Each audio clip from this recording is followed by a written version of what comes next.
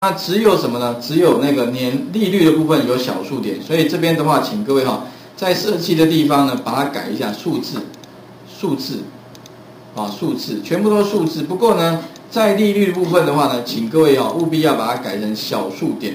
那怎么改小数点呢？特别注意啊，请你看一下下方这边有个长整数，对不对？请你把它改成什么呢？这个地方把它改一下，改成叫做双精准数好了哈。那单跟双的差异就是哈，当然双放的比较大的数字，所以呢，你避免错误的话，你干脆就直接给双精准数的一个小数点，哦，这边就可以变成有小数点了。OK，只有改这个地方，其他都不需要改。那最后的话呢，把它 save 一下。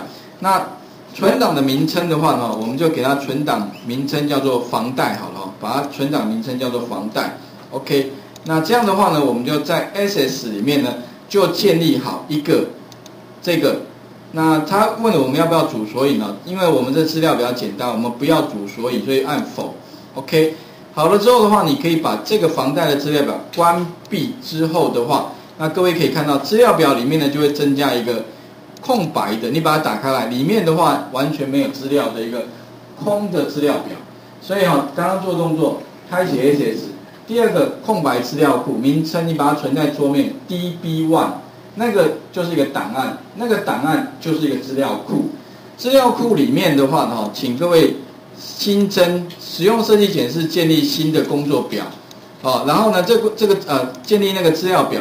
资料表的名称的话，特别注意就是分别哈用复制贴上，哦，把把它这个五个栏位名称呢放上来，然后呢比较会有问题的应该就在这个地方哦，数字里面的话改成双精准数，OK，那最后把它储存成为一个房贷，那里面呢现在完全没有资料，那我们要怎么样哈把资料从刚刚的 Excel 写到这里面来？